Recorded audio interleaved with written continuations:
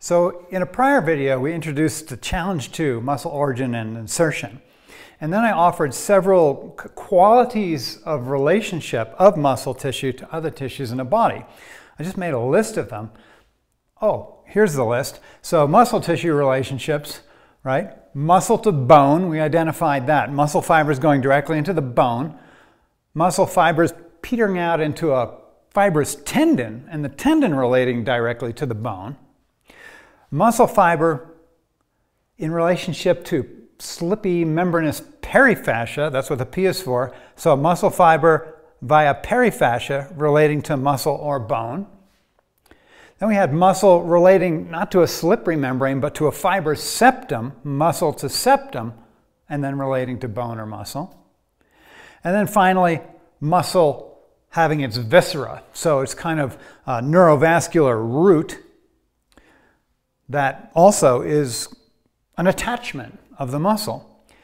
So I thought it would be good to have an example because I've actually dissected the entire body to discover all of the relationships of muscle tissue in these categories.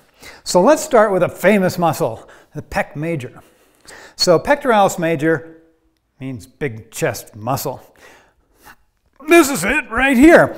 So, big chest muscle. Um, that's what the Latin speakers said, literally. Uh, pectoralis major. So, major is big, pectoralis is chest. So, the big muscle of the chest is an easy example, and everybody knows a little bit about it. You know your pec major. So, I need more board space to draw a picture. Okay. So, having reviewed the uh, different muscle tissue relationships, let's do an example with the pec major. I'll draw it. Okay, so what do we got here? Uh, we, got, uh, we got a collarbone. We've got a collarbone. We have some, we have the sternum. We've got uh, shoulders and an arm and fingers. Shoulder, we don't really need the fingers, but it looks better. And then we have some ribs here. Now I'm going to leave the ribs off on this side so we can just draw the pec major. It'll be more clear. So here come the fibers of the pec major going from where? From the collarbone, the clavicle that is, to the arm and then we have fibers going also from the sternum to the arm and then kind of just wandering out on the rib cage.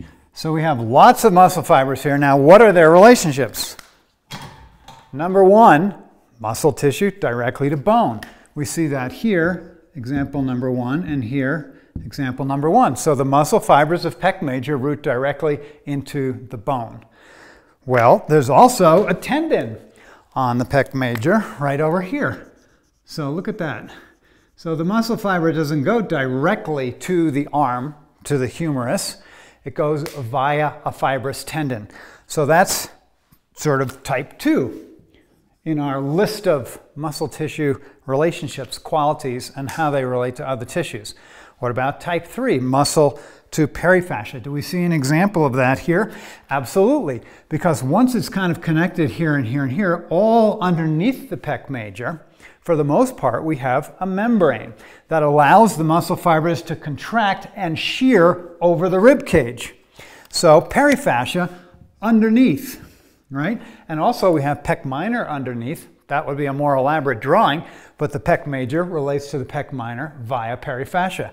So muscle to muscle via perifascia, muscle tissue to the rib cage via perifascia. So there's type 3. What about type 4? What was that? The viscera.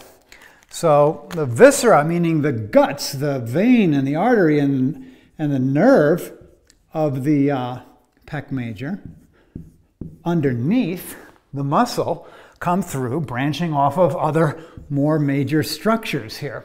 So we have the visceral root. If I were to cut the muscle relationship to the bone and to the perifascia and to the tendon over here, it would still be hanging on your body because it would be connected via its viscera.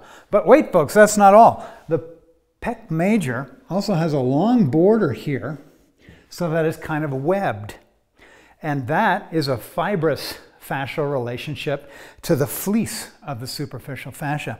So we have Another relationship here is not quite a septum, but again, this is a model. Uh, and basically what I'm trying to do is give you a thorough accounting of the relationship of the muscle tissue. And so to be thorough, we'll say we have kind of a fibrous relationship that's not quite a septum. So here we go. Oh, number four, they're telling me, don't forget the four, right? so there's number four. And this is sort of five in parentheses because it's not a septal relationship, but it is a fibrous, a more fibrous relationship than perifascia.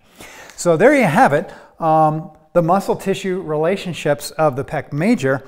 And I think that if you account for this, um, you'll, have a, you'll have a completely different way of touching people a more sophisticated touch because you could just be mashing around on a pec or you could be very specific. You could go to the places where the pec relates to the bone, where it relates via perifascia, where it relates via tendon, where it relates via, relates via its viscera, where it relates via more dense fascia.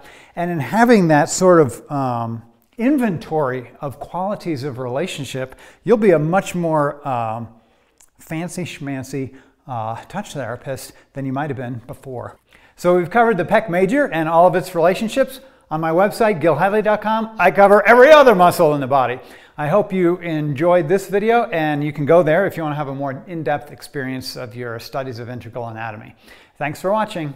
I appreciate your watching. Thanks for studying with me. If you'd like to learn more, visit me at gilhedley.com. There's a ton of stuff there. Enjoy.